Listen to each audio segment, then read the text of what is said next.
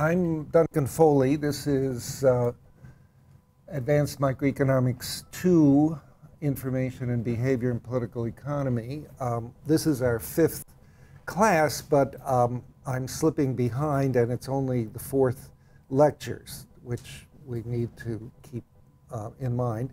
And in fact, the lectures will not be exactly synchronized with the classes. Um, there's going to be, um, I think I will get all the way through lecture four today, but um, the lecture six that I've been working on, it's clear is going to take at least two classes and maybe more than, a little bit more than two. So keep in mind that there isn't a one-to-one -one correspondence between the lecture numbers and the class sessions. We uh, finished up last time with a little introduction to this idea of the social interaction model. So I'd like to start at that point again, just to get back into uh, gear and remember what we're talking about instead of jumping in um, in medias res uh, in that way. We don't have to go back over the social science, but let's start with the um, canonical social interaction model. The scenario here is that you have a number of identical agents. The identical part turns out to be very important for the tractability of these exercises. It's not so important. Uh, you can do the same logic for more complicated models where you have heterogeneous agents. The logic is the same. It's just that the models become much, much more difficult uh, to solve, and these identical agent models have a great deal of information to give us about the general types of dilemmas of social action, social interaction that we're uh, seeing. So you have a, a number of identical agents, and they all control some action variable. And in different contexts, that action variable is going to be a lot of different things. We're going to see uh, over the course of the semester applications of this model to a wide range of economic and politi political economic circumstances. Um, and in each of those, the action variable can be different, and the payoffs as a function of the action variables can be different.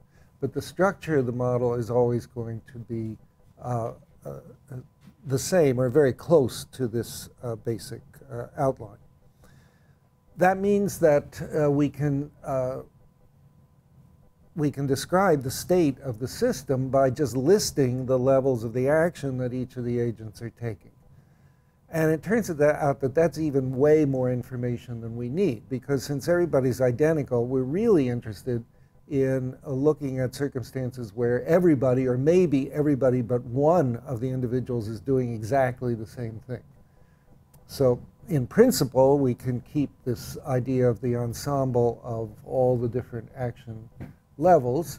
And for some more advanced uh, problems, that may be a, a very important thing. Um, it does become important when the uh, outcome of the model is a frequency distribution, uh, you know, where there's uh, different numbers of agents doing different levels. But we'll see, th those come through, I think, in a, a, very natural and intuitive way when we get to that point. Um, at the moment, though, to get started, we're going to call the nth individual, the last one in the sequence, the typical individual, and we're going to call the average level of the action variable x across the other, other individuals z.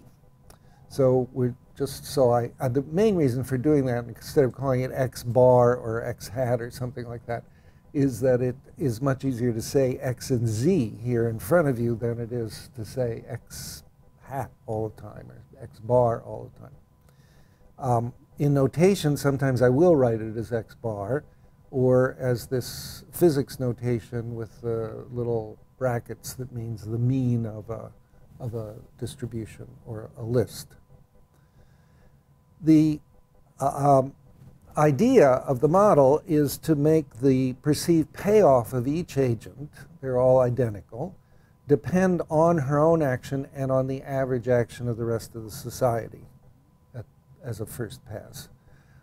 Um, so we're assuming that this payoff function u depends on xi, the individual's um, action level, and Z, what everybody else is doing, which is a simple and I think rather intuitive idea. And we'll assume uh, or arrange things so that the payoff has a maximum in the individual's action for any value of Z. Now, if you're doing this kind of thing yourself, it might not always be so obvious how you make sure that this is true. I myself spent about four days earlier this month on a part of the notes that we'll see in a few weeks because I didn't pay attention to this fact and I had an unsolvable model because I didn't make sure that the uh, payoff function of the individual had this property. So it's not um, like falling off a log that you're always going to be sure it does. So you want to check up on that. Um, it, physicists call this kind of theory a mean field theory because the uh, what happens to any one particle, in this case individual in the system, uh, depends on what the mean of what all the other particles do. But you could actually generalize it. You could make what the individual uh, sees is the median, let's say or maybe the individual is doing econometric sampling and is taking some kind of sample of what everybody else is doing, or uh, a number of other um, uh, informational assumptions if you feel that your problem requires that are available, and you'll still have much the same structure. Does anybody have any question about this basic setup of the payoffs and the individual and social action idea?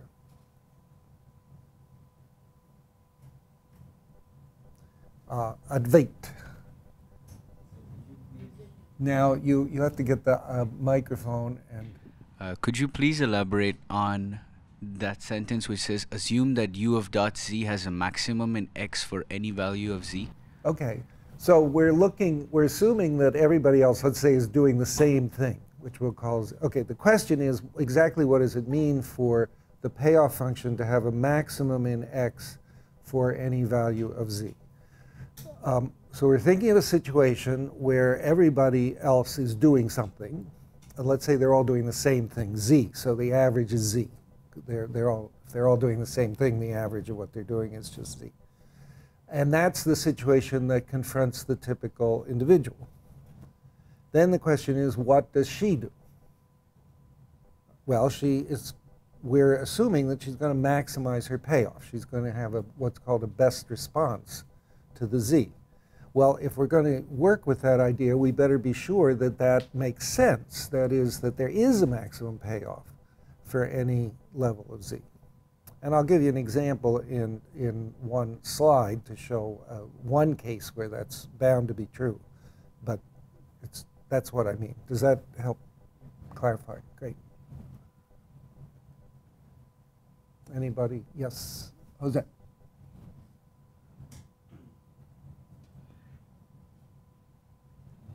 Uh, yeah, I um, I have a question regarding the logical time of the model, like in terms of the time of the model, like the average is already set before I made my decision as an individual. At this point, we're not going to get into dynamics. Okay. So we're just assuming, So and you'll see in many of the in many of the applications, you can finesse the dynamics in one way or another. But if you want to think, the so Jose's question, I'm supposed to repeat the questions. Jose's question was, uh, what's the time frame in which all this is happening? It's basically simultaneous. So it's, it's much like uh, the Keynesian multiplier model, which is one of the models we'll actually derive from this, um, where the intersection of the uh, aggregate demand and uh, 45 degree line um, is a sums up a bunch of things, adjustments of employment and income and so forth, but you're just looking for the state of the system that would be reproducible and stable. And that's mostly the um, that's mostly the spirit in which we'll take this. Uh, we'll get to some more advanced questions of that type.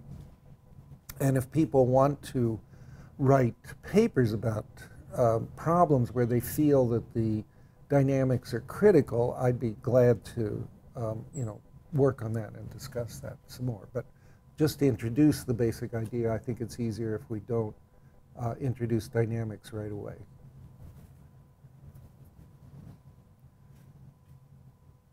Anybody else? Okay, so we have this set up, and now what can we do with it? Well, there's basically two things we can do with it. One is to compute or calculate uh, equilibria. So we need to stop and think what we mean by equilibrium. And the concept of equilibrium that's being used here is the Cournot-Nash concept. So an equilibrium is a set of levels of this action variable that have the property that when everybody else is doing it, it's also best for the typical individual to do it. It's the best response to itself. That is, that if everybody else is doing a certain thing, then the best response of the individual is to do that same thing. So it reinforces in that basic Nash equilibrium um, way. And the steps in this are first, uh, which ties in with uh, Advait's question, um, the individual's best response. So the individual's best response is to maximize her payoff function over her levels of the action, taking the level of the action of the other individuals as given. And that's, uh, so I call that XBR for best response. And it's a function of Z because Z is what everybody else is doing. The equilibrium definition then is very simple, and that's one of the huge advantages of this whole setup, um, is just that the equilibrium is a best response to itself. And that's the other condition for equilibrium. So you have to have a best response, and the thing has to be a best response to itself, the level of the action. In some cases, it's convenient to allow for a stimulus or a social intervention variable, which we'll call xi. This is the Greek letter xi. And the notion there is that this is something like government fiscal policy in the Keynesian model. It's something that society uh, puts in there that intervenes between the average of the rest of what everybody else is doing and what the individual sees. So in this case, the condition for equilibrium is that when we add this reaction, this stimulus variable xi um, to the um, then it's a best response to itself.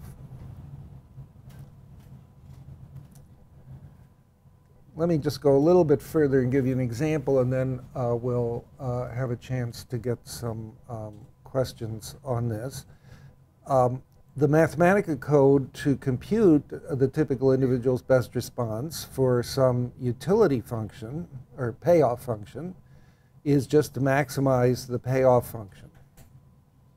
Simple enough. Um, and for example, if the individual, typical individual's payoff is quadratic, then it's going to have this form. It's going to have minus x squared over 2, which is the effort or quadratic element. That's the impact of, of doing the action on the individual. Okay, we'll assume in general that the individual, it's effortful for the individual to do other than zero of it. So it's something like effort in uh, a, uh, in a labor supply model. Um, then um, we have a term x times alpha plus z beta. Okay, well, the z beta is the crucial social interaction term because it says the payoff to x de depends uh, it, on two things. One is an autonomous part of it, alpha. That's just the payoff. So if we were thinking about this as a labor supply um, problem, alpha would be the wage. The individual would be trading off uh, labor effort against alpha z, the wage. But we now allow that the payoff to the individual depends also on what everybody else is doing. And beta can be either positive, in which case you have what's called strategic complementarity, or it can be negative, in which case you have what's called strategic substitutability between the individual and the society. And finally, for completeness, we'll include a term gamma times z. And that's just a pure externality. So that's a benefit that the, society, that the individual gets from societies doing the action at level z, uh, regardless of what the individual does. It's just a, like a free gift. And gamma can be either positive or negative. So when gamma is positive, the, um, it's like a public good. Z contributes to the welfare of the individual, uh, to the payoff of the individual. And when uh, gamma is negative, it's a negative externality. The more the, other, the rest of society does it, the lower is the payoff to the individual, other things being equal. What is a little different between this and usual welfare economics is that there's really, there are two sources of interaction. The gamma z is the type that's most often emphasized in welfare economics it's just a pure externality. But actually, it's going to turn out that it's the beta z that's the much more important part. Because gamma z doesn't uh, affect the individual's action, whereas beta z does affect the individual's action. Gamma z is like a, a lump sum payment that the individual gets from the rest of society doing whatever they're doing but it doesn't depend on what the individual is doing. Beta Z is like a tax or a subsidy that the rest of the society is giving to the individual to do the action, is the difference. And you can easily see that if you maximize this by differentiating with respect to x and setting the result equal to 0, since this is minus x squared, we've satisfied, you see, at the requirement that there be a best response for every z, because as long as you've got minus x squared in there, this is a concave function, so it's going to have a well-defined maximum. And the maximum is going to be exactly this, alpha plus beta times z, which is very nice because it's linear, okay, which makes it much easier for us to work with it. Now, you don't have to use, you don't have to restrict yourself. If you have some important reason in a problem that you're doing, you don't have to restrict yourself to a quadratic uh, payoff function. You could have some other concave function than x squared over 2 here. In fact, we'll see some examples where we use other uh, concave functions. You might have a logarithmic function of some kind or something like that. Um, uh, and you will get a different best response in that case. But I'm going to stick with this linear one for most of the examples uh, that we do. Not all, but, but many of them. Now, there's a final um, wrinkle in this, which turns out to be really quite important, as we'll see in a little later today, which is that in many circumstances, it is um, convenient or realistic, or however you want to think of it, to put an upper and lower bound on the level of the action that the individual can do. So the individual can't do any level of x. The individual has to restrict herself to some interval, which I call x low and x high. And that uh, puts limits on what uh, the individual is going to do. Um, here is actually the Mathematica code for the best response when you have low and high. Well, what is it? It's alpha plus z beta if alpha plus z beta is in between x low and x high. So if, if, if the constraints aren't binding, then that's what you do. If alpha plus beta z is very small and, is, and says, well, you should really go below x low, the individual can't do that. So she has to stop at x low, and that's the best response. And similarly, uh, this, although this is a little hard to read, this final line says the same thing for the upper end. That is, if, if, you're, if the alpha plus beta z recommends that you go beyond the x, the high limit, then you have to stop at the high limit. That's, that's as far, that's your best response.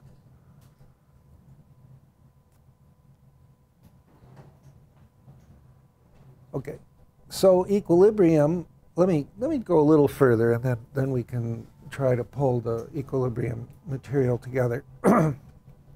Equilibrium then depends on the best response function, and you can write a mathematical program to solve that equation. And as long as you're dealing with linear best responses, then a Mathematica can solve it. And in fact, here is the equilibrium. It's alpha plus beta times xi if there is any social stimulus, but in many cases there won't be. Xi will be just zero, divided by 1 minus beta. Well, you know what this is. This is just the Keynesian multiplier, right? Beta is like the uh, propensity to consume out of income, and alpha is the autonomous expenditure or alpha plus beta xi is the autonomous expenditure of the individuals plus government stimulus, plus or minus the government stimulus or whatever. So this is a, a, just a multiplier. Uh, but it's, it's quite general for any time you have a linear best response. So it's good to actually even memorize this because you will never, I mean, it helps you right away get a grip on what's going on in any particular application of the model. When individual behavior is constrained, though, you may also um, have cases where um, the uh, where the constraints matter. Now, this is the actual horrible Mathematica uh, for the whole story, which I in Mathematica you can you can double click on a cell to keep stuff like this out of your hair, which is what I did, so we don't, it's not so formidable.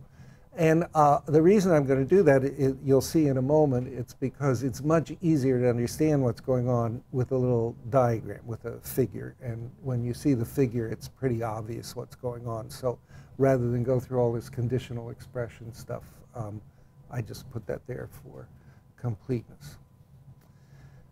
Okay, so is there any question about the definition of equilibrium or that with a quadratic, so that you have a linear, when you have a quadratic payoff function, so you have a linear best response, this is the equilibrium. Oriol. Sorry, like, could you please elaborate on like this idea of like the Keynesian multiplier, like being at that? Well, isn't this just exactly the Keynesian multiplier? if beta is the marginal propensity to consume, alpha is autonomous expenditure. And, epsilon? The xi, well, beta xi, xi is the uh, fiscal stimulus. Or the tax, or the tax cut, or whatever it might be. I'm just giving you that as an example because that's that's a um, circumstance that that's a, a, version of this type of equilibrium that we're all kind of familiar with. So it's I'm trying to uh, emphasize that this is no different from th that type of equilibrium reasoning.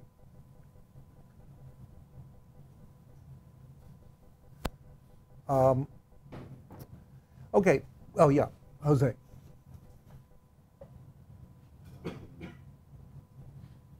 What about? Um, I was wondering how how can you, like, would you argue that, for example, a general equilibrium approach would be like a specific case of this framework? Yes, it is, and I want to talk about that. Uh, uh, Jose asks, what's the relation of this between ge with general equilibrium? And actually, we'll talk about that quite a lot during the course because the um, that's one of the main philosophical or methodological uh, themes that I want to develop. Um, for right now, let me just say, um, uh, just say one thing. Um, general equilibrium, as far as I know, is not the Nash equilibrium of any well-defined game. So the first point here is that we're using equilibrium in the sense of the Nash equilibrium, and therefore we're so, for example, we'll give, I'll give you some examples of this later. In this, um, in this setting, if we try to analyze markets, we have to know who sets the market price. Market price is not going to come from an auctioneer or from outside. One of the agents in the model, one of the, the individuals in the model are going to have to set the market price as a best response to something. So that's one Im important difference. And well, let me raise one other thing because it's such a pervasive theme.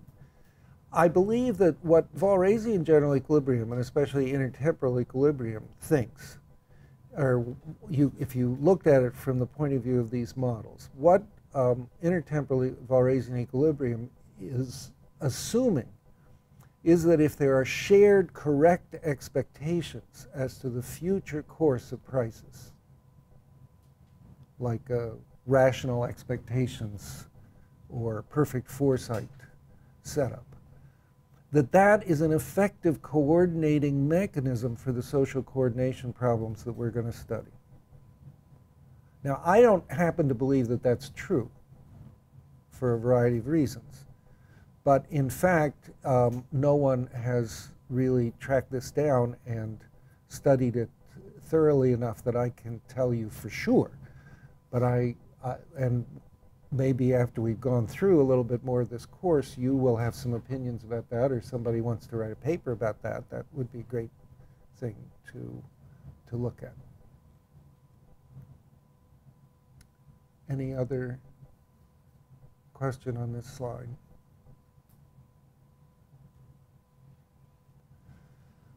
Well, the other obvious, sort of obvious question that you have in this um, circumstance is what is the socially coordinated outcome? And what do we mean? And it's pretty obviously what we mean by socially coordinated outcome. The equilibrium outcome is what happens when each individual makes a decision taking what the other individuals are doing as given. That's the Nash equilibrium concept the socially coordinated outcome would be what an individual, any of the individuals, would choose as the level of the action if she could enforce it on all the others as well. Now this is a this is something that comes up in one's mind all the time when you're living in bourgeois society, which is how come I'm stuck having to take all of these context things as given when what I would really like to do is do the best thing for society. If you want to think of a, of a very concrete example, um, you are deciding whether to drive, how much to drive your car, okay? And you say to yourself, well, if everybody else, and therefore how much uh, greenhouse gas to emit, okay, in your daily life. And you, the so equilibrium outcome is going to be what you do if you take what everybody else is doing as given. That is, you assume they're going to drive just the same amount as they're driving now. The socially coordinated outcome is suppose that you could cut back your driving and everybody else would have to cut back too by just the same amount then what level would you choose? Or you can think about it in terms of other um, rather um, humdrum but important examples. Um, how about commutes in big cities? The social equilibrium, the um, social interaction equilibrium is what happens when everybody decides whether they're going to drive their car into the city and by what route, assuming that everybody else is going to do whatever they're doing. The socially coordinated outcome is what would happen if by some miracle everybody could get together and decide how often or how much or by what routes to drive into the to drive into the city. And you know that if you could coordinate, the outcome would be much typically in that case would be much better in, in the sense that you could achieve a much lower average commuting time for everybody if you could coordinate. So this is key distinction, the equilibrium outcome and the social coordination outcome. But I think it's very intuitive and it has to do with something that comes into our mind all the time, what's the best thing for me to do if everybody else is going to do whatever they are going to do anyway, and what would be the best thing for all of us to do if we could make a single joint decision. Well, the social coordination outcome is very simple to state in this setting. It is also a maximum problem. It asks you to choose the level of the action that maximizes the individual's typical individual's payoff. But now we put her payoff and the same thing for everybody else. So if you contrast that with the best response definition, the best response definition said maximize payoff taking Z as given, all right? The social coordination says let's put X in the slot of Z. So we're assuming everybody's going to do the same thing. Oriel, uh, you don't. That was a, just a stretch. Okay. no, but uh, actually I was thinking and could you also like do it like with a difference that actually like the like instead of everyone like looking at the same level but like the to put it like a change to a particular quantity i don't know you can like relatively in some way. Um, Oriel says well does it have to be exactly the same or could you have some intermediate cases and there are intermediate cases um, the social coordination outcome turns out to be the best response when you weight everybody else's payoff as part of your payoff and you give an equal weight to them. But it would be possible to have an intermediate case where you didn't, you were just selfish. You put a weight on other people's payoffs, and depending on that weight, but it was less than one, then you would be somewhere in between. Um, if you're interested in that, um, Bowles's microeconomics uh, has some uh, examples of that type of reasoning, or you can do it. Uh, that would be another interesting paper if you if somebody wants to uh, pursue that. Advait. Uh, this might be a bit elementary, but I just want to know th theoretically what is the difference between averaging everybody's actions with this with the same 1 over n minus 1 weight and this case where we fix it at x and say, okay, everybody's actions are weighted equally, and then now uh, I, I play or I act as x. What, what is the what is the real difference between that? Okay, Advait, Advait says, well, there must be some other intermediate cases. For example, where um, you don't, you can't make everybody do exactly the same thing, but they're going to be distributed in some way. In fact, if you stop and think about the entropy constrained models that we were just that we talked about uh, in the last couple of weeks, you can begin to see that there has to be some interaction between these two uh, points of view, which I'll talk about um, later. So yes, uh, the advantage of this very sharp uh, contrast between full social coordination and complete decentralized Nash equilibrium is to some degree pedagogical. It just makes the difference in point of view very sharp and very clear. But in some applications, you may want to go for intermediate um, cases. You, you may have to include intermediate cases. Well, you can write down the um, Mathematica code to find the coordinated outcome, and that just is to maximize uh, the payoff function with the same variable in both slots. So you just have xx there, like as in, the, as in this expression.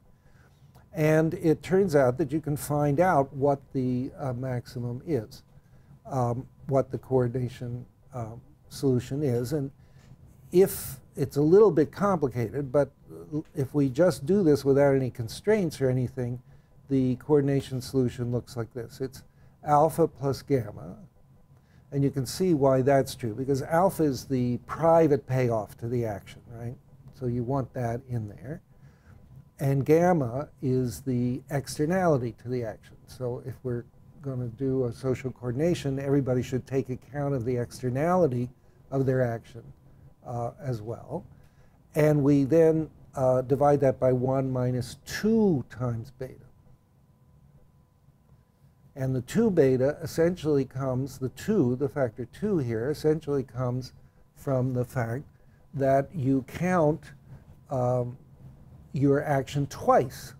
You count it once for what effect it has on you, and then you count it again for what, it, what effect it has on the average of the other individuals in the, in the system, which is the correct thing to do if you are doing a social coordination exercise.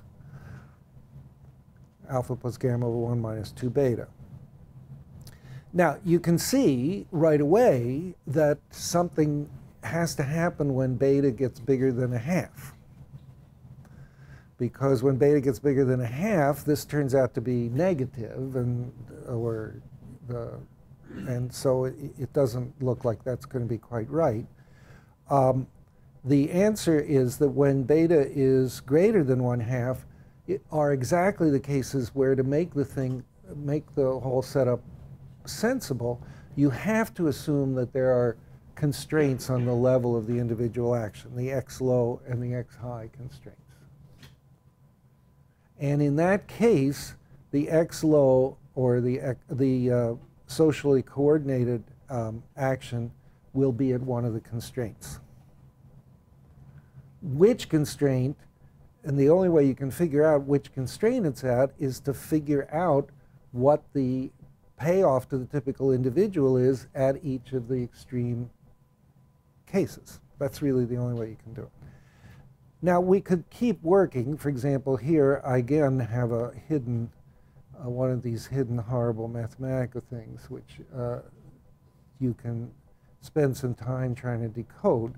But it's really much easier to understand what is going on by visualizing the equilibrium um, in a, a, diagram. So here we are uh, visualizing the equilibrium in a diagram, and we're going to spend a little time on this diagram. And I strongly suggest that if you're interested in this subject, the best way to get some feel for it is to get that CDF player and spend some time with this diagram messing around with different cases to see what happens. But I'll go through some of the most um, uh, salient ones right now, and then if you can, if you get interested in the other uh, possible permutations, it's fine. But let's first look at what this um, what this uh, diagram consists of. The blue line is the line where, so we're measuring z along the horizontal axis, and we're measuring x, the individual level of the action, along the vertical axis. The blue line is the 45 degree line. It's the locus of points where x is equal to z, which we know is one of the conditions for equilibrium. So all of the equilibria, and it's also a condition for social coordination, uh, where the social coordination is symmetrical, where every, everybody gets the same outcome. So the blue line is where we're going to wind up somehow or other. The red line is the best response of the individual. So in this case, the x low is set to be 0, and the x high, which you can't see, but you'll see it in a moment, is set to be 1. So the individual has to choose the level of the action between 0 and 1. Those are just arbitrary, although we'll see that um, there's a very natural way of interpreting those as as frequencies that uh, makes the model uh, very interesting. Um, the intersection of the, so this is the alpha plus beta z line. Now from just looking at this, is beta positive or negative in this case?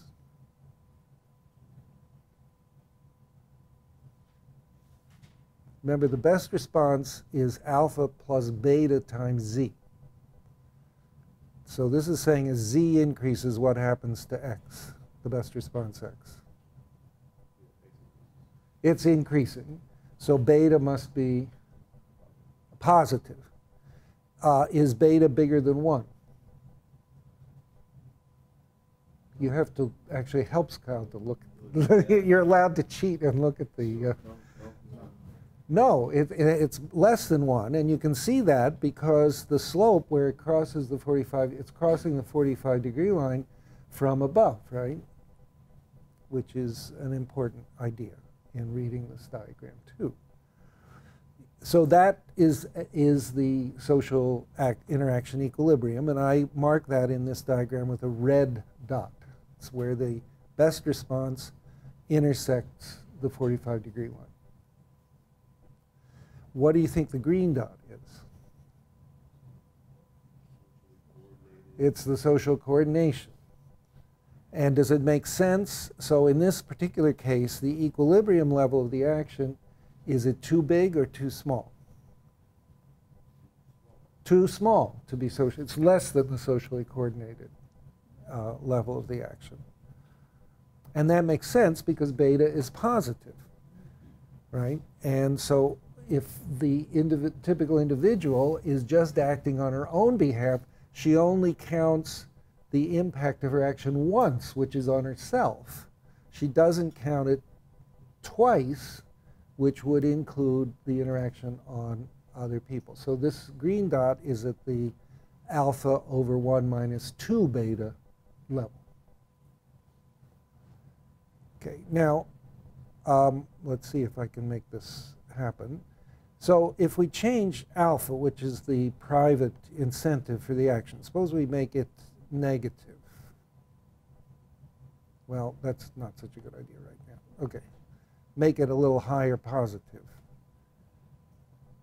What happens? Well, the higher is alpha, uh, the higher is going to be the level of the um, of the equilibrium, but the um, it also raises the social coordination level. So by leaving beta at, this is, starts off with beta at 0.25, one quarter, less than one, that's, that's what happens.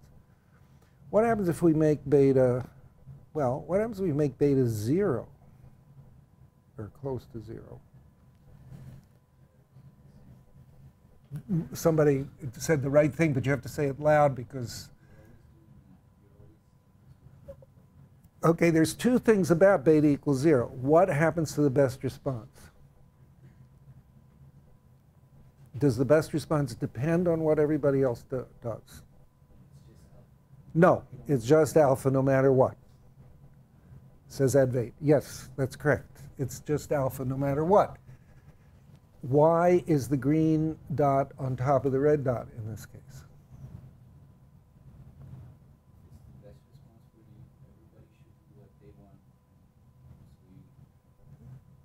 If everybody just pays attention to themselves, then that's fine because there's no interaction. There's no social interaction when beta is equal to zero. This is the invisible hand case, right? This is Adam Smith's invisible hand case, a, or a representation of what you might think of as the invisible hand case, where the proper thing to do is not to mess around with it, just let everybody do what they want. The only trouble is that this, in the social interaction setting, you see that this is a knife edge case, right? Because beta equals zero is, you know, a very, very unlikely value for beta. Do you need to adjust? No, we're okay. Um, suppose that beta goes negative. Then what happens?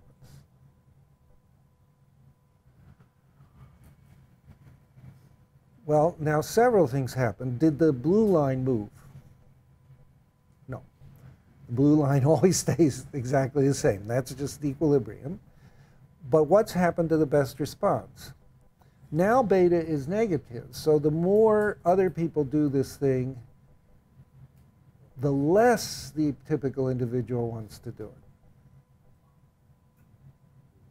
And now we can see the constraints, right? If, if everybody else really went negative on the action, the individual would go as negative as she could, but she would run into the constraint, and then her best response flattens out there.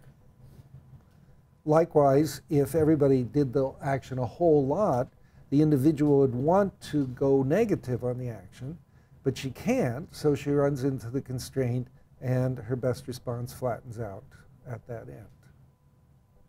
In this case, why is the green dot below the red dot. Jose, that's, that's a free riding case. So both with, with beta uh, uh, either negative or positive, but um, uh, less than 1, like this, you have a prisoner's dilemma. It's basically the prisoner's dilemma. And, uh, but the prisoner's dilemma is operating in different directions. In the beta negative case, uh, everybody's doing too much of the action, whereas in the beta positive case, everybody does too little of the action in, in equilibrium. But in both cases, it's basically a prisoner's dilemma uh, type of um, outcome. Now, let's uh, adjust alpha to be somewhat negative and boost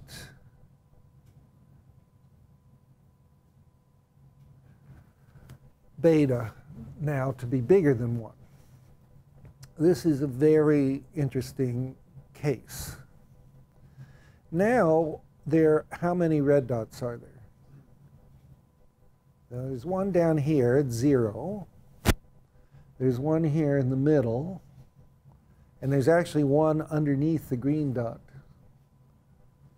Should figure out some way to make that a little more visible, but because those, the red the red uh, Z-shaped curve is the best response. And with these settings for the parameters, it intersects the uh, equilibrium condition three times at the low level, at an intermediate level, and at a high level of the action. What about this intermediate one? Well, I'm going to argue by slightly hand waving, and Jose may not be too happy about this, that we ought to regard this one as unstable. Now, you're, you're going to say, and especially all those people who took Vela Velupillai's course, is, are going to say, well, you, you're not allowed to say something's unstable unless you explicitly tell me the dynamical system that you're studying, because that's what determines stability. And uh, that is true, and I don't want to um, shake your confidence in that extremely important methodological principle, but I'm going to violate it because I'm going to say, look, does it matter what the uh, dynamics are? What happens if everybody goes a little above this equilibrium point? What happens to the incentives for the typical individual? It's to, yeah, Özlem say it. Uh, well, yes, to, to, to you're going to, you, but initially the main thing is it increases the incentive for the typical individual to do the action by more than the increase in societies doing the action. And it's in that sort of intuitive sense that I would argue this, this is unstable because with almost any dynamics, it, you, it's going to be unstable. And I, am so I'm going to wave my hand and say, well, we're going to call that unstable because it's generically unstable. Um, and as Özlem says, once you perturb it, perturb the system away from this intermediate equilibrium in the positive direction, it seems like the only place it can stabilize is at the upper uh, limit, is at the upper constrained limit. And if you did it in the opposite direction, what would happen? Then it's going to go down to the low one. Now, in this case, the upper one is the socially coordinated equilibrium. So the socially coordinated equilibrium is a, um, is a Nash equilibrium of this system and a stable Nash equilibrium of the system. But there's another one down here which is not.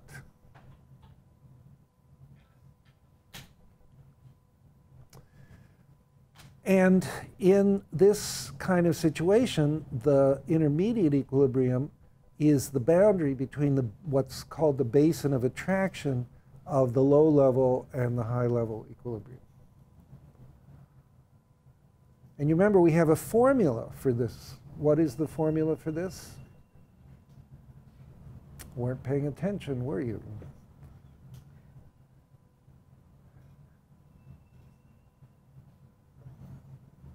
What is the intermediate equilibrium?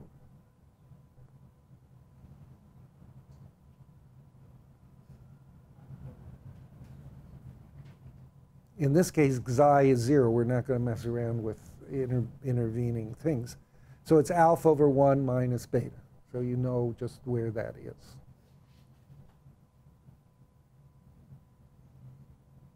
And you'll notice that in order to make this intermediate equilibrium exist, I have to set it so that alpha is negative, right? Because beta is bigger than 1. So 1 minus beta is going to be negative.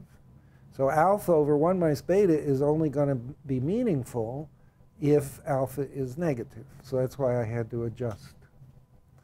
Incidentally, here is this um, xi, which I've set to 0. Um, but um, uh, we can manipulate it, but let me, um, let me not do that for just for a moment. Now, this um, type of situation is often called an assurance game. There are two stable Nash equilibria. Uh, one of them is better, is socially coordinated. The other one is not socially coordinated. So it's this class of models that give rise to concepts like poverty traps in development or in uh, other types of social interaction um, issues, where there's a, the possibility that society gets stuck at this stable uh, Nash equilibrium down here, um, even though uh, there's another uh, Nash equilibrium that is that is socially coordinated, or from a social point of view, has a higher, higher payoff for the typical agent. Now, there's another thing you can do with this. Suppose that alpha gets more and more negative. What happens?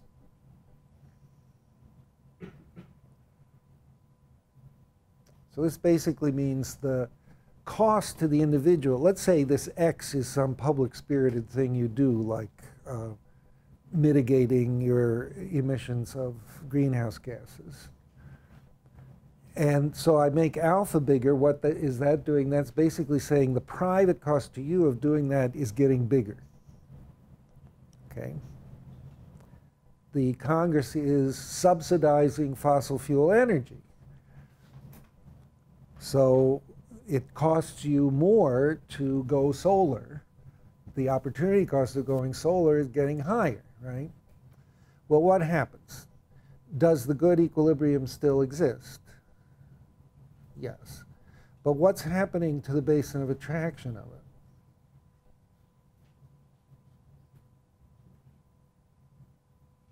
It's getting smaller, right? Because this unstable interior equilibrium is creeping up on the good equilibrium. Or suppose, I'm just throwing these things out, we'll talk about all these things in more detail. Maybe this is a model of asset pricing. And what, what Z is, is how much other people are willing to pay for houses. And X is how much you're willing to pay for a house. Okay? So the equilibrium, equilibria are the Nash equilibria of that kind of thing. Well, what happens if I keep on pushing alpha negative? Oh my God. Now what happens? What happened to the stable good equilibrium? Since you may not have been watching, I will do this again. Okay, so here we were. with, a, with two equilibrium. The blue line intersected the red line three places, one unstable and two stable on the outside.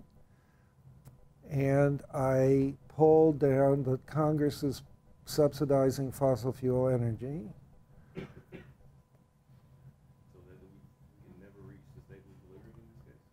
Well, is it a case that we can't reach it, or is there a stable equilibrium? There's only one stable equilibrium, and it's the not so good one, right? This type of situation is called the cusp catastrophe in mathematical terms. It's the case where, and you see what's happening as we change this parameter alpha, and we could change other parameters to get the same effect. Um, as we lower alpha, what's happening? The unstable intermediate equilibrium creeps up closer and closer to the stable one until they sort of annihilate each other. And the stable equilibrium is no longer, the stable good equilibrium is no longer there, and there's only one thing to do. So if this is a model of asset prices, what just happened? You just had a big collapse of asset prices, right? Because if you were, if the system were, had somehow been operating at the stable high, let's say, price equilibrium, then as let's say now it's the Fed is raising interest rates. Why are they raising interest rates? To cut down on asset price inflation.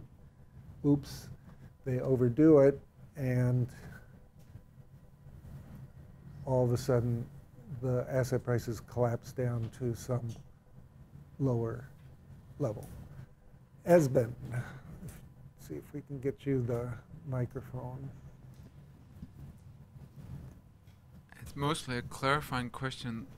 In the specific example you're talking about, wouldn't other variables be like forced somewhere Mm.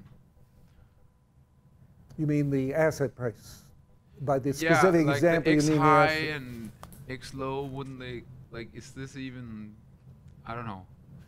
Okay, so Esben asks, in, in a real life case like asset markets, how relevant can such, I'm going to paraphrase your question, can such a stupid little model like this be to understanding a really complicated uh, situation like asset pricing. Is that a fair paraphrase of the question? I don't know. But anyway, uh, that's how I hear it. Um, well, I think that's a question you have to answer for yourself, and it depends a lot on how abstract you're thinking, how used you are to thinking in abstract terms about complex situations.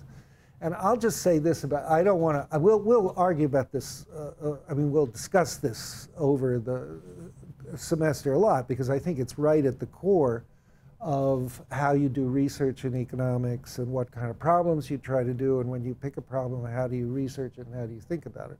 So it's very important to, to ponder this and think about it. My bias is that people usually make progress the more they can abstract. Now, that's a bias, and that's one reason I do the kind of work I do and why I'm teaching the kind of course I'm teaching and so forth. But that's my, that would be my argument. I will make the case that abstraction is the royal road to understanding. And we can talk some about other people who have something like that idea. Okay, so here we are back after break, and we're looking at the um, graphical representation of the um, social interaction model. And as I say, it's much easier to understand what's going on in the graphical representation in terms of the possibilities. You know that if beta is less than 1,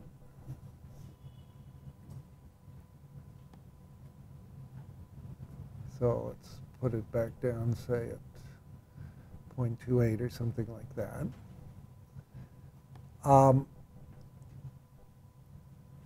then in general, there's just going to be the one interior equilibrium, which is the prisoner's dilemma, as we said.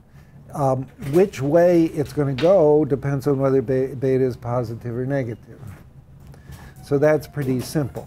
The complications come when beta gets bigger uh, than 1 because at that point you can have only one equilibrium because just because the best response doesn't quite hit the 45 degree line, so there's no possibility of an equilibrium.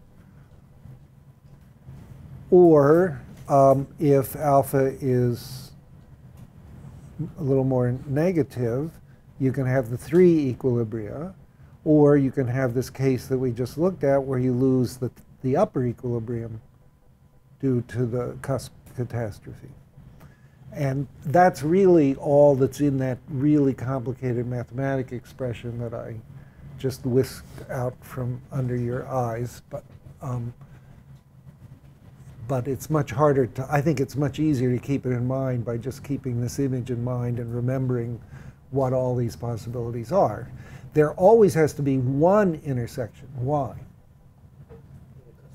Because of the constraints, says Zhang, and that is correct. So you can't, somehow the 45 degree line can't avoid the best response altogether if there are low, uh, lower and upper constraints. It can avoid the uh, responsive part of the best response, the part which has the slope beta, but it cannot avoid intersecting it altogether. So you always have to have at least one, one equilibrium. Yes, Aslam has a question if we have the. I'm just thinking about uh, asset markets. Let's say that uh, government actually re highly regulate the market. In this case, we are not going to have alpha smaller than zero condition, or we are going to end up with high equilibrium point? Well, if you, I, I'm going to. Try to do some asset market examples later in the term, and it's a very, I would encourage, if somebody's interested in this, to do this as a paper. This is the kind of thing you could easily do as a paper. But let me just say a couple of things about the, interpreting this this way. So you, you're going to have to decide what the action is. And it will turn out that the action is the willingness to hold or sell the asset at a certain price is the action you can actually take because no one controls the market price, right, of the asset. The only thing that individuals can do is decide whether to sell it or not, or buy it. So that's going to be the action, is the Z, is the Z element. And the alpha is going to be the cost of that action. Well, the alpha is presumably uh, has something to do with your notion of the fundamental of the, uh, of the asset. In this case, beta is like this Keynes beauty contest effect. You're trying to guess what other people will pay for the asset. And asset markets appear to be quite prone to developing beta bigger than one, to developing this kind of um, interior instability in which case they're forced up to some limit. Now, what is that limit? That lim- then you'd have to give some thought to what the limit is. Is that the limit of the maximum amount that the typical uh, portfolio holder can go into debt to buy the asset? Their margin, say their margin limitation or something of that kind? Or is it um, or some other, would presumably have to be some other budget constraint because otherwise you just keep buying the asset up until the price was infinity, right?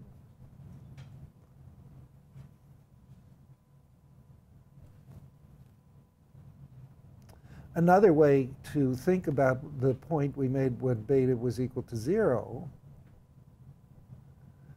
when beta is equal to zero, the um, equilibrium will be the fundamental.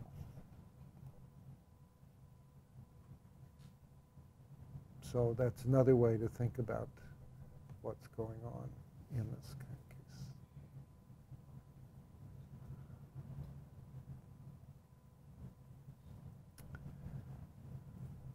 Okay, I'm going to go on now and therefore, from this figure, and I really strongly uh, encourage you to get hold of the interactive version of this file, which is available on Canvas. It's called CDF, and this is called Lecture 4. Or I think Ilker has other another place that people can get hold of it, right? Yep, the CDFs. So um, you and uh, I think some time spent with just playing with these interactive controls on your computer, which will work, uh, should work, um, uh, is teaches you a whole lot. And certainly thinking through what would it be like um, if I was using this as a model of some problem that I'm interested in, asset prices, or we'll talk a little bit about social conventions in a moment, which is another example where the same um, where the same basic model can be used to give some insights. Well, one of the points is that uh, equilibria of the social interaction model are, in general, not socially coordinated. That, uh, that doesn't mean they're never socially coordinated. We just saw the example where the upper, uh, where the upper stable equilibrium was the social coordinated, socially coordinated equilibrium. But they generally are not, and that is one of the big sources of headaches and difficulties. Can it explain wars? Well, yes, probably you can. Uh, if you, we'll talk about that a little bit more when we get into the social conventions, but you can think about the breakdown of public order in terms of this social interaction. If everybody else is more or less respecting each other and keeping public order, then what's the best response for you to do? probably to more or less respect public order and respect other people. But if everybody else is going nuts and shooting at you and everything, then what? Which I don't, I mean, it is kind of, it is funny in a way, but I just want to emphasize it's really a horrible thing to have happen in a society that, uh, that you get one of these really badly socially uh, uncoordinated let me talk a little bit, uh, just explain some of the language. When beta is less than zero, um, the social and individual actions are said to be strategic substitutes. The more the, everybody else does the thing, the less you want to do it.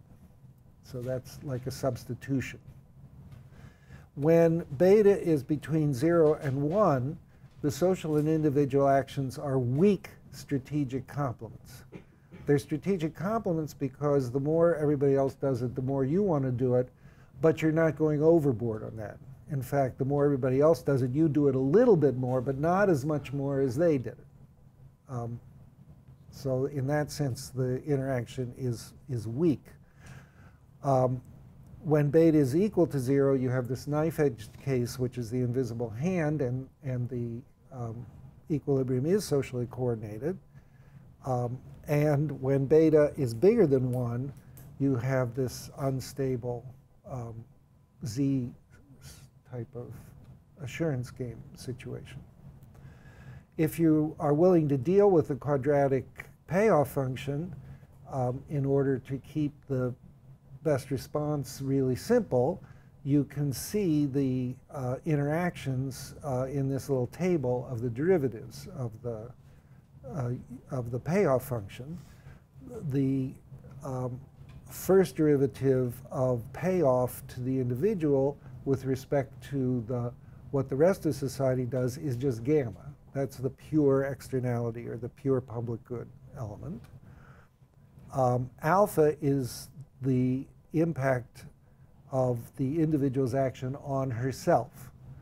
So that's the cost, the wage, the price, whatever it is that uh, you face for yourself. The interactive term, which is the key as we've seen, is beta, which tells how much other people's actions change your payoff or your perceived payoff. And the minus one half is the thing that makes the whole payoff function concave and satisfies this point that Advait and I talked about earlier today, that the, you're sure there is a maximizing best response. Well, let's do an example of this. Um, this, the classic example of this is the tragedy of the commons, which is one of the central preoccupations of uh, social theory going back uh, to uh, Hobbes and Locke uh, in the 17th and 18th century. And I believe that Adam Smith and Karl Marx were very focused on this, on this example as well, although they don't necessarily use the language that we use to discuss the tragedy of the commons. So you have to decode a little bit um, in reading Smith and Marx to see what's going on. And uh, it is, this uh, idea is returned in modern social science with uh, the, uh, this, under this rubric of tragedy of the commons. All right, here's the tragedy of the commons in my version, which um, you have this farming village and you have a bunch of identical farmers. Why are they identical? Because we're in this class. That's why they're identical, right? This class is all about identical um, situations like that. And they have cows and they graze their cows. And there are two places they can graze their cows. There's a limited, well watered, fertile, grassy area held by the village as a commons. So it's close to the river and it's got a lot of water and the grass grows very green there and um, it's a great place to graze cows. Uh, and anybody is allowed to graze their cows who's a farmer in the village. Outside this grassy area is a vast expanse of less fertile land, which we call the waste in English, the waste. So it just means, okay, the grass doesn't grow as well out there, and it's you know not as great a place to graze cows, but it's effectively unlimited. There's no the, that just extends pretty much as much as you could go uh, with uh, in relation to the number of cows. Cows grazed on the waste produce a certain amount of milk each year, which we'll call MW meaning milk from the waste. Okay, MW is milk production on the waste, regardless of how many of them there are. And we'll count the cows by the variable x. Why are we counting the cows by the variable x? That's the action. Okay, so XW is the number of cows that are on the waste. The milk output of a cow grazed on the commons, which we'll call YC, depends on how many cows graze the commons because when you start sticking a whole bunch of cows on the commons, they get in each other's way. Their uh, manure is all over the place. It's you know, and their and the commons is not as an they. Whenever a cow gets to one place, somebody, some other cow's already eaten the grass there and stuff like that. So it depends on how many cows graze the common, and that number is x sub c, the number of cows on the common. According to the relationship, the milk production on the common depends on some constant, which would be what the milk production would be if you just had one cow on the common. So there was no crowding at all minus the number of cows that are actually on the common. So you start off with no cows on the common. The first cow gets MC, produces MC, but each cow you put on the common reduces the milk production by one, by normalizing so that it's that. And the um, commons milk production uh, with zero cows, no crowding, is bigger than the production on the waste. Because if it wasn't, why would you bother? You know, all, all, you only care about it because you get more milk if you put the cows on the common. What is the socially coordinated grazing plan? Well, the socially coordinated grazing plan maximizes total milk production. How much is that? Well, it's MC minus XC times XC, because that's how much milk you're going to get from putting XC cows on the commons. The, they have a positive effect because you have more cows, but they have a negative effect because of the crowding, which is represented by this minus XC term in the milk productivity, plus MWXW. And let's say you only have a certain number of cows altogether, X, so you've got to divide them up and put some of them on the waste and some on the commons. And um, everybody in this room knows how to differentiate. This is just a quadratic function of xc, right, subject to a constraint.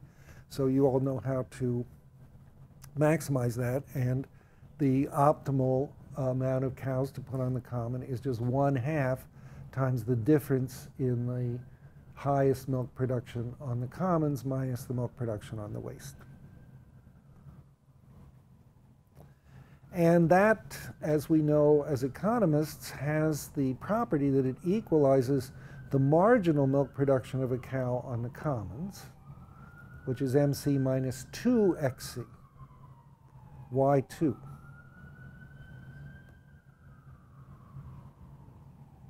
If you look up here, what you get on the commons is MC times XC minus XC squared, right? So when you differentiate that, okay, that's why the 2 comes in there, to the marginal and average milk production of a cow grazed on the waste, which is MW. So that's what, that's somehow what would be a good thing for the village to do, would be to put one half MC minus MW cows on the commons and put the rest of them on the waste, and then in that way they're going to get the most milk. Now, if the farmers are choosing their grazing plan as individuals and everybody's allowed to put any number of cows that they want on the commons, what's going to happen? Well, everybody is going to say, um, they're going to take the number of cows already on the commons as given, which is going to determine the uh, milk productivity of, of putting a cow on the commons. And they're going to keep putting cows on the commons until that average milk production is equalized to the milk production on the waste. Because as long as you get more milk out of a cow on the commons, then on the waste, you're going to put the cow in the commons.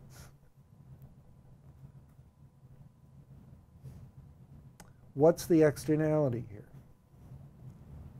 When each farmer puts a cow in the commons, what does she forget?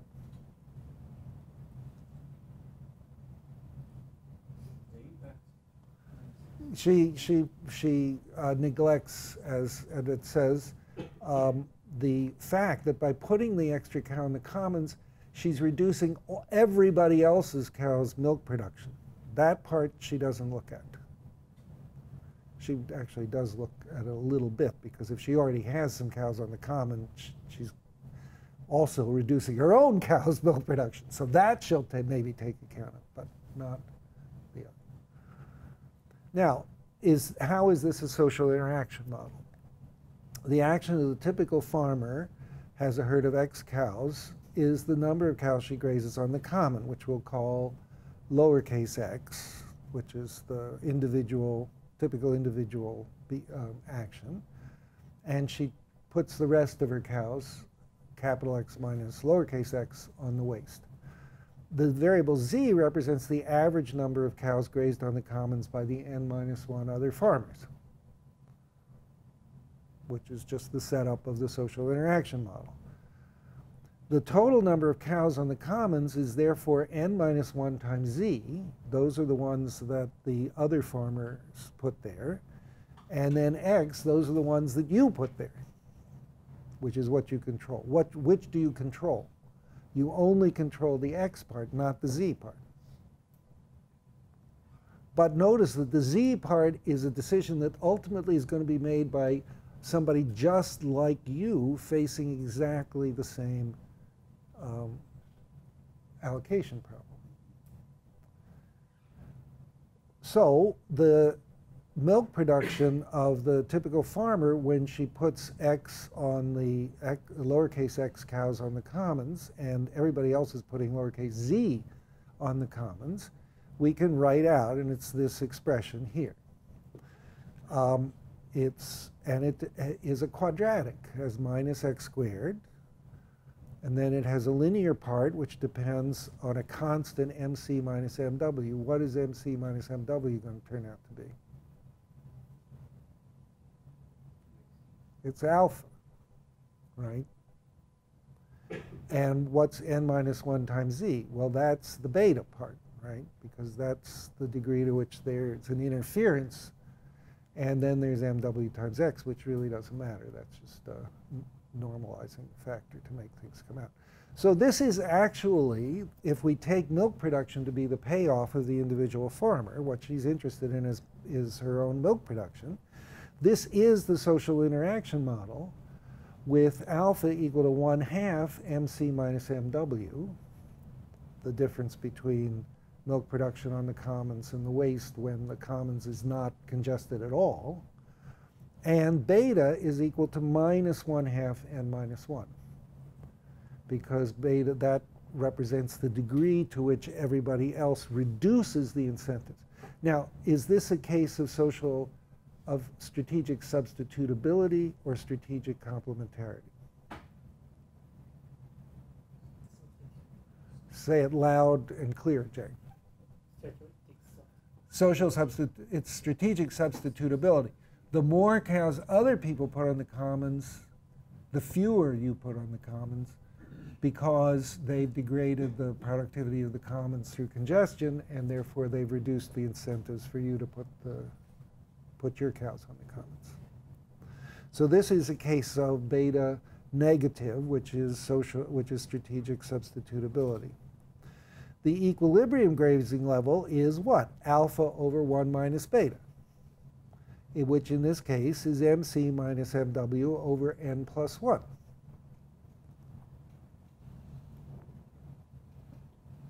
This is just the same formula that we worked out for the general social interaction model. So it gives you the answer automatically. And if you had memorized the formula for the equilibrium, you would have been able to solve this problem like that, right? The N farmers will graze a total of N over N plus 1 cows on the commons in equilibrium. That's not quite equalizing the marginal product of a cow to the average product. It's a little bit less. It would equalize it if n was infinity, if there were you know, a very large number of farmers. The reason for it is a kind of an interesting reason, which is that each farmer does internalize a little bit of the externality because she already has cows on the common. So although she ignores the effect of putting another cow on the common on the other farmers, she doesn't ignore the effect on her own cows. She realizes that she's crowding her own cows and will, as a result, partially, very slightly internalize the externality. But how much he internalizes it depends a lot on how many farmers there are. If there's a lot of farmers, hardly at all. And so the social coordination grazing level is MC minus MW over 2N, um, and the uh, actual one is mc minus w over n plus 1. So you have the tragedy of the commons right there. Now this has been a major theme of economic theory for pretty much all segments of the ideological spectrum. Um, and it has to do with privatization, with the political economy of privatization, uh, enclosure of intellectual property rights, um, uh, global climate change and climate damage, all of these things are examples of this basic of this basic setup. So it's worth under feeling that you really understand it um, quite well. The advocates of systems of private property argue that the theoretical and historical solution to the commons dilemma is enclosure. That is, you turn the commons into private property and you give the owner of the private property the right to exclude cows from the commons and to charge a rent or a fee for putting a cow on the commons. The idea here is that if each farmer controls a share of the commons, she will internalize the trade-offs between grazing cows on the waste and the commons and correct the uh, misallocation that the, the free common system is a free riding common system creates. The theoretical idea of enclosure raises some important complications. Um, one is that if is exactly how are you doing this? If you have this commons and you really are going to divide it up into n separate pieces, you can make the n separate pieces all more or less equal. You know, they're all strips of land along the river, and the, you know, they get wider as you go up the river and, or down the river, whatever. But um, what's a little suspicious is that this that usually the analyses assume that the crowding effect is going to be the same on each of these parcels as it is on the whole commons when it's undivided. And that um, is an area that um, puzzles me, and I didn't have time to think all that through, but that's another thing if somebody wants to write a paper about, it's an interesting question. The, the question is, um, is the congestion effect going to be the same on each of these little parcels of the commons as it was on the whole commons? Or, or what would be the appropriate adjustment that you should make? Well, this is somewhat irrelevant historically because in hi history, what happens when they do enclosures is that it hardly ever actually results in an equal division of the land among the uh, villagers it results usually in a very unequal division of the land in which a small number of people get a big chunk of the commons and everybody else gets nothing or a very small part. Um, what tends to happen is even if the titles to the land are initially equally distributed, um, the result of a free market in land transfers tends to be a highly unequal equilibrium distribution of the land. Um, there are some very interesting examples of this if you uh, want to do economic history about it. For example, after the Revolutionary War in the United States, the veterans of the Revolutionary War were paid off by the Continental Congress by getting land grants west of the Appalachian Mountains, which the British had uh, refused to allow to be settled, and one of the big issues of the war was whether the lands in Ohio and west of the Appalachians would be settleable. Well, if you were a Connecticut, maybe wound, you know, somewhat disabled veteran, and you got a parcel of land in what's now western Pennsylvania or West Virginia or Ohio, you might decide, or your son might decide, or something, your kids might decide to go out there and farm it. But it's much more likely that if Alexander Hamilton came by and said, you know, I'll take that land title off your hands uh, and give you a good price for it, that you would decide you would sell the land out to Alexander Hamilton and or some other similarly well-financed speculator, which is exactly what happened.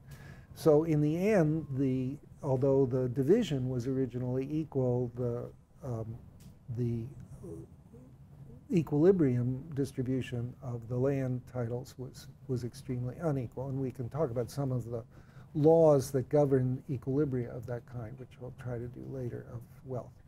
Uh, another interesting example is um, there are other land reforms in Latin American countries and some other places that are also interesting examples of this. Um, another one is the privatization of socialized assets in the Eastern European countries after the collapse of the communist regimes, where often they privatized by giving every citizen a certain voucher, or which is a claim to the, a certain proportion of the state assets. But again, those became, as we know, became extremely rapidly uh, centralized and concentrated through speculative process. Well, what about intervention? Can you solve this problem by intervening? Um, one way would be to tax the action or subsidize it if, you, if, it, if it requires subsidization. The, in other words, you, then society is supposed to put a tax on the cow, on the cows on the common to discourage, you know, to allocate properly. And you can calculate the optimal tax. This is the Pigouvian approach to this problem. Um, and you can calculate what the efficient subsidy, the Pigouvian subsidy would be. Um, many people argue that solving commons problems with a subsidy or tax requires a large degree of centralization uh, to collect information. So it's not really a decentralized method of allocation. This is something you might want to think about and um, look at in, the, in specific cases. Could some simple system of privatization resolve the social coordination problem? Well, the idea here is to divide the commons into n identical parcels and give each farmer one parcel. Um, and then each farmer has to decide how many cows to allow on her parcel, but can charge a rent against the cows. If she decides to put her own cows on the parcel, it's like she charged herself rent and then paid it, so it's the same, same thing. Um, the rent per cow the farmer as a landlord lord can charge is going to be the difference between milk production, milk is money in this case, or it's the relevant numeraire, the difference between the average productivity of a cow on the commons and the productivity of a cow on the waste. Because if you charge less rent than that, then nobody will put any cows on the waste. They'll all put their cows on your um, part of the uh, commons land. And if you charge more than that, no one will put their cows on your. So this is Ricardo's theory of rent. Um, and we can write out in these terms what the, what the rent is going to be and what rent revenue is going to be. And you can um, once again see that this is the social interaction model. Now, alpha prime is 1 over 2n times n sub c minus m sub w. Beta prime in the new model is 0 because there's no, you've gotten rid of the interaction effect through charging rent. And you can work out that the uh, actual uh, equilibrium outcome with rent will be the socially coordinated equilibrium. Now I can't resist. We only have a couple minutes doing this last little bit, and then maybe we'll stop. Um, Elinor Ostrom, the late um, recipient of the Swedish Bank Prize, um, spent most of her scholarly um, career looking into the question of how uh, real people in real situations deal with these common property resource and congestion difficulties. And she found that anthropologically there's a huge variety. I think Sam Bowles in his book says maybe 27, she counts 27 different distinct um, solutions to this whole thing. But let's just imagine one for a moment to get a little insight. And here's the story about this one.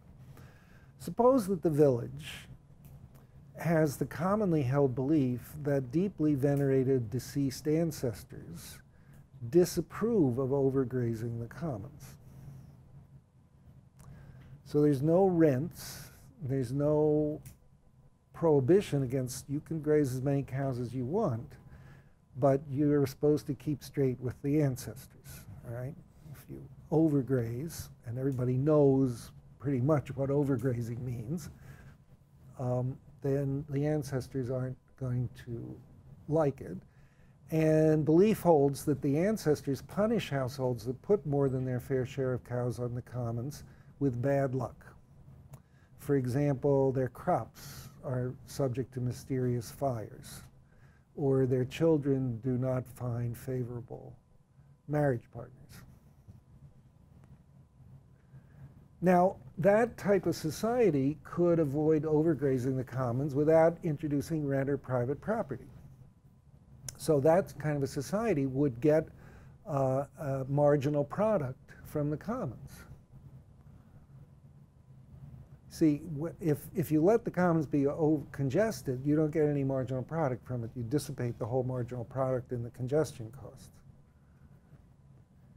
But all of a sudden, here we have a case where the marginal product of the commons is really due to the ancestors. So maybe it would be better if we called it the marginal product of the ancestors. Or if you thought about that way, then maybe you're thinking, well, it's not really the commons land that has the marginal product. It's whatever system of social control prevents you from overgrazing the commons that has the marginal product and is responsible for the increase in everybody's uh, level of milk production and consumption as a result of avoiding the congestion of the commons. And that raises the question of just what an input to production is. Are the ancestors an input to production?